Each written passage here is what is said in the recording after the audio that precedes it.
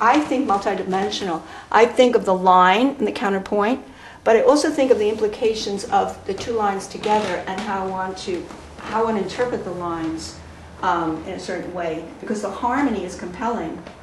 Is, is a harmonic dimension to this as well as um, as well as these lines going. Well, he's the greatest harmonist of all time, in my opinion, you Right. know, but it's, it come, it's a result of the uh, linear movement, right, you right. know? So you And hear- so to, to, to analyze chord by chord, I think is, you know. No, no, no. I Yeah. don't ever do that. Oh, good. Oh, I, no, no, no. I never, never do it. But I think it's very interesting when he gets to the cadences because he has a certain serial quality where he goes through this, you know, these half steps here.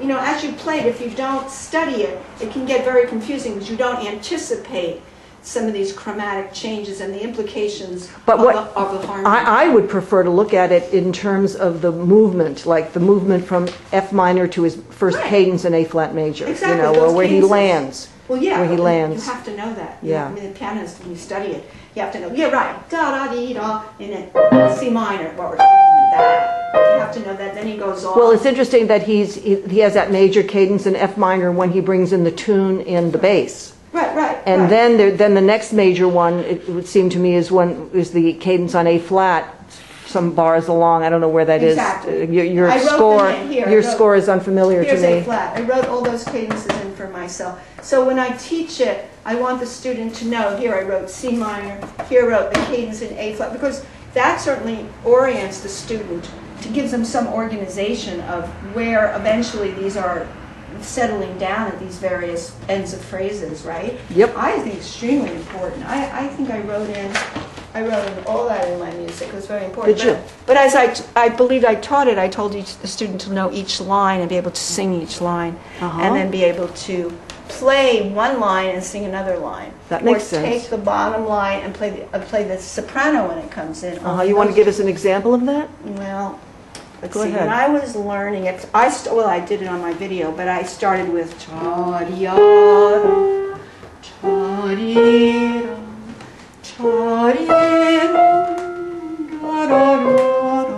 da, then cha-di, da-da, and then the left hand continue the line. and then and that's still alto?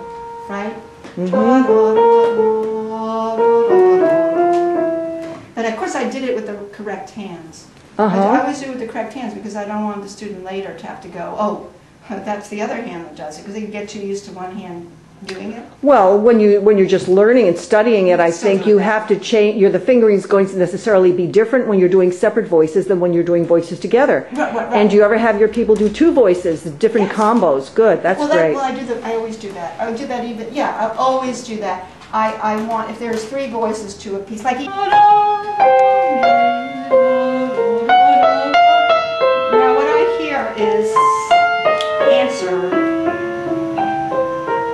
That's what I wanted Beautiful, to show you. That's beautiful. what I wanted to show you Yeah. because when the harpsichord plays it more, it gets very articulated. Well, again, again, don't take what I played as the harpsichord version because I, I haven't been studying this piece. I was just sight reading it. It's been a long time. It's been like 15 years since I played this with the uh, guitarist. If you want to hear my interpretation, you have to go to that recording.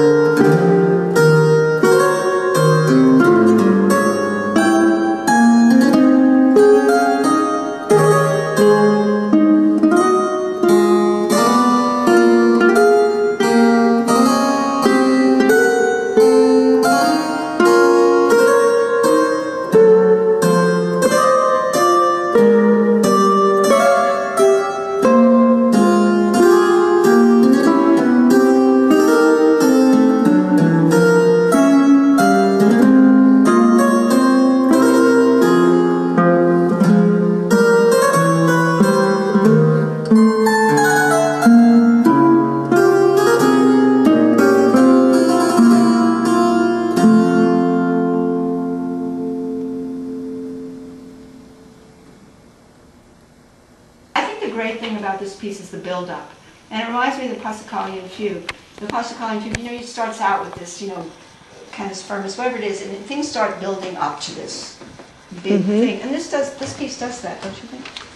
Yeah, well, I think they all do, but this, this one is because it's, it's had, had such a, that, that theme is so relentless, and so ominous, and it climbs like that, you know, so that it has a, you know, it has different emotional Yeah. meaning than some of the other things, you know, some of the lighter, Well, it stands Inventions. out. It stands out there's such, there's an atonality to it. well, I wouldn't go so far, I would just go to say that it's a masterful Learn to know. contrapuntal writing, Uh, that's, it's, you know, you know, it's, it's the non-harmonic tones, it's the way he keeps the line moving when the harmony is passed, you know, so the dissonance, he's not afraid of dissonance. You know I so- love that. Yeah, but what's so fabulous is here where he goes uh, sort of cha-da-dee-da-tee-da. We has augmentation on top of that idea of skip step, skip step, but lengthening by quarter notes against this. That to me is amazing. Mm-hmm. Uh-huh. Because it's a rhythmic Yeah, device. right. And the rhythmic device, I mean, it's amazing because you feel now in two where you felt in four. Uh-huh. And you see the augmentation on top. Oh, I, I see, yeah. Oh, yeah, he's too much. totally He's too much. It's just like in the concerto, he has that, he has the dee-da-dum theme that is in the slow movement and in the fast one, the last one. And the inversion of the minor third to the major sixth. You know, in the beginning. Here he go, drops down. Oh, sorry. That's great.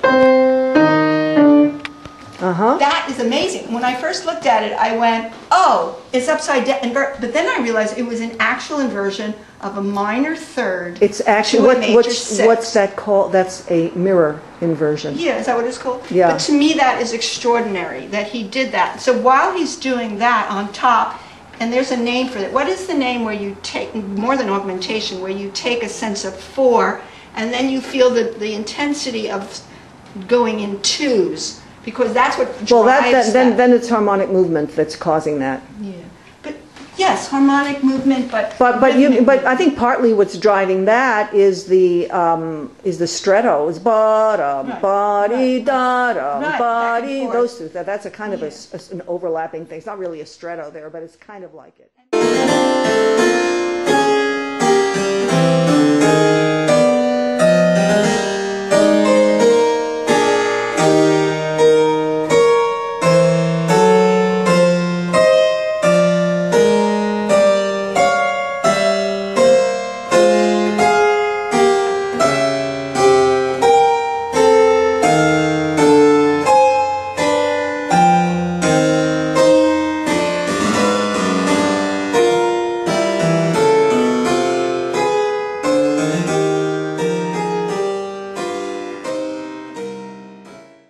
Piece is just, you know, it's, it's incredible. He uses every, everything. Yeah, I mean, it just stands out. It does. Everything It I've ever played of his. Oh, well, Uh, I- it doesn't stand out from everything I've ever played, but among the Sinfonia, Yeah. uh, I would, I would go so far.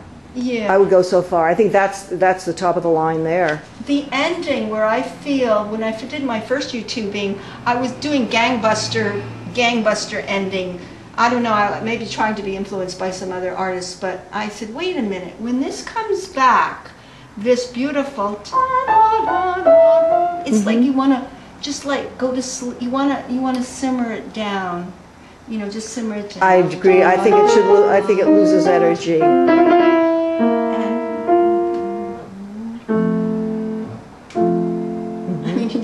After all this tumultuous mm-hmm. buildups Yeah. of that, you just want to Well, it's just um, the emotional, i- i- you know, tension is incredible in that.